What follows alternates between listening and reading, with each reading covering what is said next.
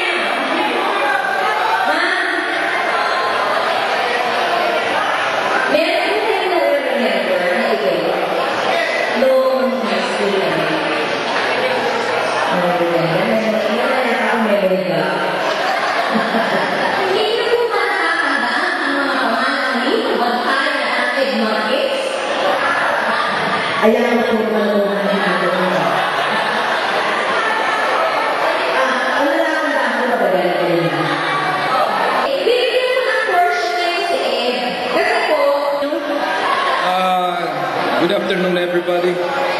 Just like to take this opportunity uh, to talk to our dear children. Medyo naluluha ako, pasensya na kayo.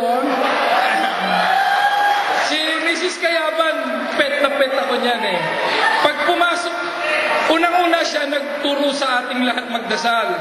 Kasi pag pumasok siya sa classroom, Diyos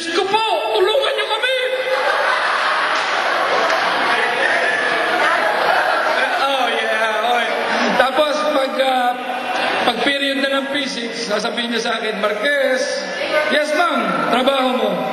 Kukuha na ako ng silya sa likod. Lalagay ko ito, para wag, wag hanginin yung, ano, yung pinto.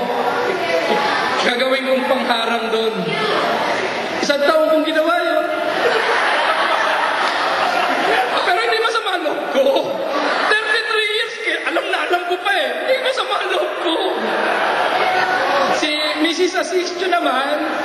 Gumawa ng kalokohan si Pantayan, pero ginaya ko, huli ako, fall guy na naman. Twice. Nanood kami ng Ken Norton at saka Ali. Sabi ni Bantayan, tara, kat tayo ng klases, punta tayo ron kila Omar Miranda. Pagbalik namin, sino sumalubong sa amin? Mrs. Asistio, ba't di kayo pumasok sa klase namin? Napakasarap ng buhay ko sa high school, my God.